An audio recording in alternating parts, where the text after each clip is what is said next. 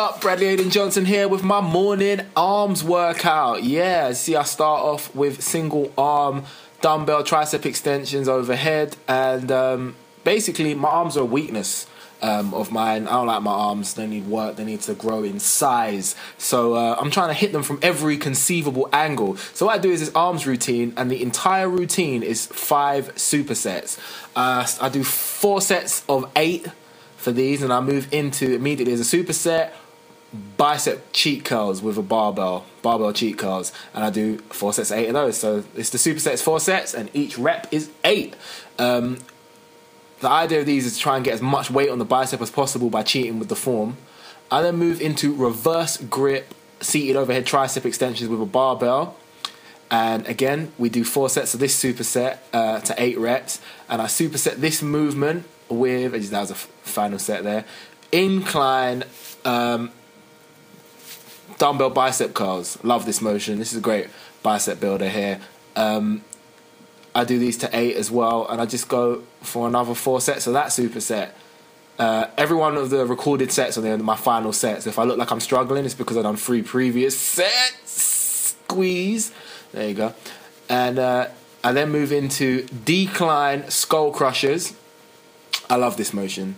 It just feels the whole tricep just gets activated with this. Um, looking at it there, I might be able to point slightly. Nah, it's probably perfect. That, that those are good. I like those. Um, this is a really good exercise. If you're not doing this for your tricep, maybe you should consider doing this for your tricep. It's uh, it's one of, if not the best tricep exercises. I love it. Uh, I superset that with bicep concentration curls. I perform each of these to eight reps, and again, four sets. You getting? Are you getting the picture now? This is this is my arm workout. Everything's a superset. Uh, I take 45 seconds rest between each superset, so it's quite quite intense, and it's always done before an hour is up. Yeah, again, this is the final set. So just squeezing out those final reps. I'm still trying to perfect the form on this particular exercise, but um, we're getting there. Trying to keep um, a vertical line between the shoulder and the elbow is proving difficult, but we're almost there. Yeah, there you go. Completed. Four sets eight. I then move into tricep kickbacks. Um, and I superset those as well with something which I'll show you later. It'll be a surprise. And I do four sets of that superset to eight reps again. This is just trying to hit every head of the bicep, every head of the tricep, and really give a complete uh, full workout. You notice my back's rounded. It doesn't really matter in this exercise. It's a light isolation exercise for the triceps. I'm not gonna get a back injury doing this.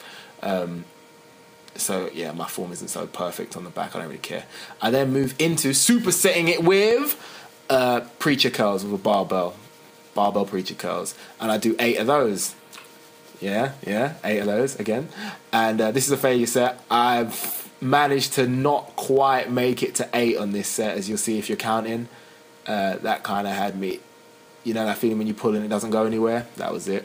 I then do some forearm work. I do five sets of ten instead. This is a final set, so I think I fail this one, only get nine. But as you can see, the reverse grip is there to target the upper portion of the forearm these are really difficult, obviously a much lighter weight, and they get the outer side head of the bicep as well, but mainly the forearm. It's a really strange feeling working your forearm, to tell you that. Uh, there you go, fail. That was supposed to be 10, failed that. And then I move into the barbell wrist curls for the underside of the forearm. And these were aiming for 10, and I failed the set and the set before that, and so I'm much too heavy on those. So, what I'm going to do is I'm going to keep the barbell the same, but I'm going to make it eight sets instead. And then after this, I finished off with some flexing just to show you where my arms are at mainly. Obviously, you can see the rest of me too, but I just wanted to show you that I'm, I do acknowledge my arms as a weaker point of mine, and I am working on them. Um, bit of back there. My back's looking fine actually. I'm kind of liking how my back's developing. So yeah, that's exactly where I am with my uh, arms. Yeah, hope you enjoyed it. Peace.